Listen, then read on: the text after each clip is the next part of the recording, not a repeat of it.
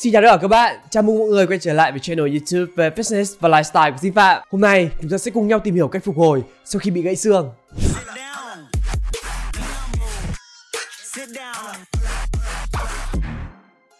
Sau khi mình post cái video nhật ký gãy chân của mình lên YouTube cùng vài cái ảnh gãy chân của mình lên Facebook ấy thì mình nhận được rất nhiều comment từ các bạn khán giả bởi mình thấy là cũng có đang rất nhiều bạn bị gãy tay gãy chân giống như mình. Bây giờ thì chân của mình đã ổn hơn rất nhiều rồi nhưng mà lúc đấy thì mình đã phải tự tìm hiểu ở khắp nơi nên mình nghĩ là nếu mình có thể chia sẻ lại được cái quá trình hồi phục của mình cũng như những gì mình đã tự tìm hiểu được thì nó sẽ giúp mọi người bớt lo lắng hơn biết những gì mình sẽ phải làm và có thể yên tâm hơn trong quá trình trị liệu của bản thân mình bị gãy một phần ba xương mác ở phía dưới chân trái do mình bị ngã xe máy và chiếc xe nó đổ lên chân của mình. Như các bạn có thể thấy trên màn hình là ảnh chụp xương gãy của mình và nhờ cái chân gãy này mà tất cả chúng ta có mặt ở đây. Ok, đấy là cách mà câu chuyện của chúng ta đã bắt đầu. Còn bây giờ thì đi luôn vào với nội dung chính nha để biết được cách phục hồi và trị liệu gãy xương ra sao, thì đầu tiên chúng ta phải biết được từng giai đoạn hồi phục tự nhiên của xương đã. Theo như mình biết, thì xương gãy của chúng ta sẽ phục hồi theo 4 giai đoạn chính. Giai đoạn đầu tiên gọi là inflammation, giai đoạn viêm.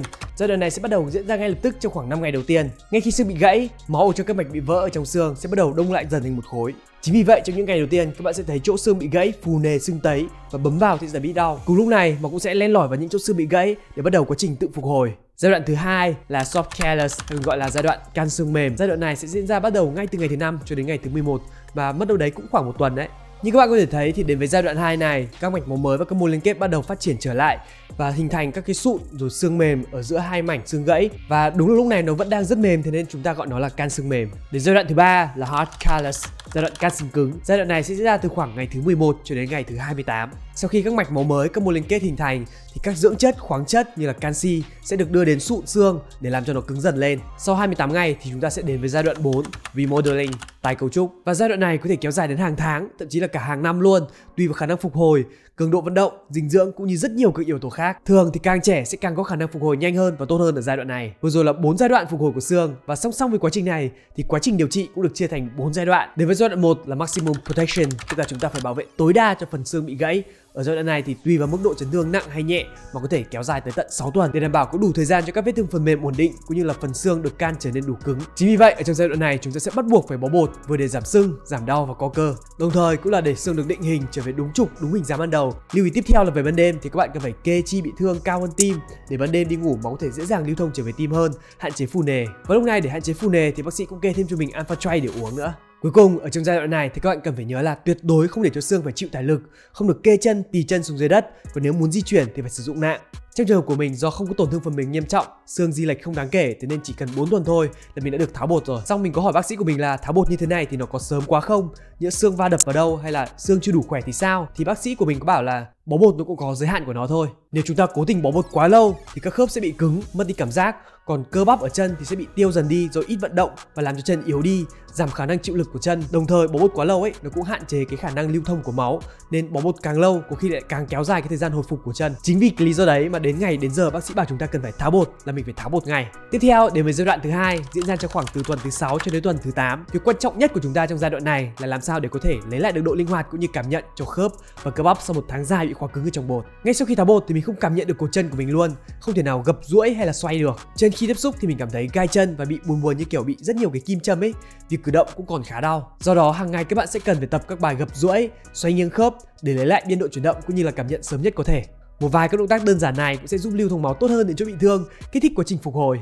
Lúc này thì mình hay sử dụng dây kháng lực rất nhẹ để tạo ra vừa đủ kháng lực kéo bàn chân di chuyển hết biên độ vì ban đầu việc tự cử động cổ chân rất là khó khăn nên cần có ngoại lực để hỗ trợ. Một động tác khác mình thường xuyên dùng để tập độ linh hoạt cho cổ chân, đấy là static lunge. Cách tập là mình sẽ đặt chân tập ở phía trước để cách tường hoặc là thành giường cỡ một bàn tay. Sau đó nhẹ nhàng đẩy đầu gối về phía trước để khi nào chạm được vào tường hay là thành giường. Nếu mà không chạm được ấy, thì các bạn hãy đặt chân gần vào hơn một chút và dần dần lùi bàn chân ra xa hơn để khi cổ chân đã đủ linh hoạt.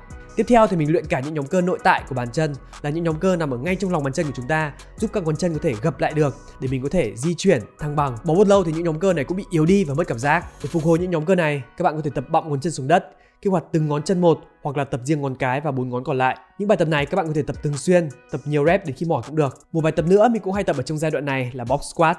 Mình sẽ tập ở trên ghế hoặc ở trên giường tập đứng lên ngồi xuống bằng hai chân, khỏe hơn thì mình chuyển dần sang một chân. Đồng thời thì mình cũng có thể tập đi, di chuyển để lấy lại cảm giác. Lúc nào cũng thế, sau khi chấn thương hay là tai nạn thì chân của chúng ta rất hay bị sợ. Không dám bạo chân để bước, cộng với việc là chân của mình còn yếu, thế nên là những bước đi đầu tiên của mình rất là run. Và tập đi như thế này, chúng ta cũng cần phải progressive overload đấy. Ban đầu thì mình tập đi với hai nạng, sau đó thì dần dần bỏ nạng đi tầm cỡ khoảng 10 cho đến 15 ngày là mình bắt đầu đi được bằng hai chân rồi. Cuối giai đoạn này thì chân của mình bớt sưng dần, vẫn khá yếu, mình vẫn phải đi chấm phẩy, nhưng mà mình có thể cảm nhận được thay đổi theo từng ngày một.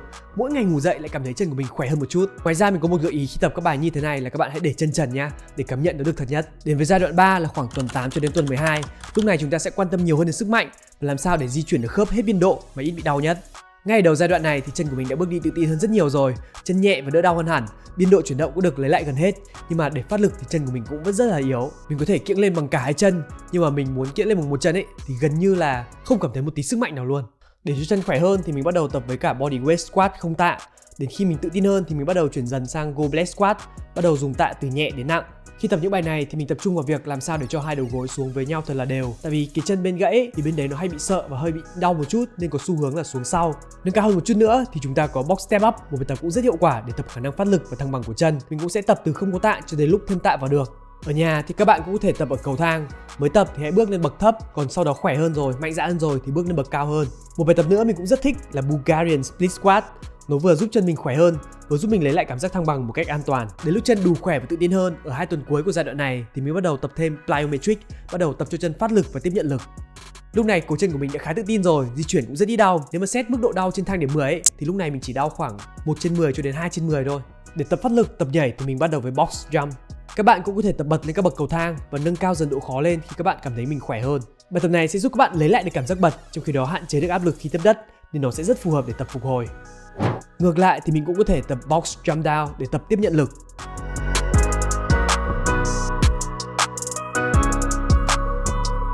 Ngoài ra có một bài bổ trợ nữa mình cũng rất hay tập trong giai đoạn này để cho cổ chân khỏe hơn, đấy là mình tập kiễng hay gọi đúng là calf raise. Lúc đầu thì mình tập kiễng bằng hai chân, tay có thể bám vào tường hoặc sử dụng một cái cột để có điểm tựa. Khỏe hơn rồi thì mình bỏ hỗ trợ đi và tiến dần đến việc kiễng được bằng một chân. Đến với giai đoạn trị liệu phục hồi cuối cùng là advanced strengthening là lúc chúng ta đã lấy lại được hầu hết tất cả các chức năng cơ bản. Mục tiêu tiếp theo là tiếp tục nâng cao khả năng chịu tải và chức năng của chân, nâng cao dần độ phức tạp cũng như cường độ của các động tác.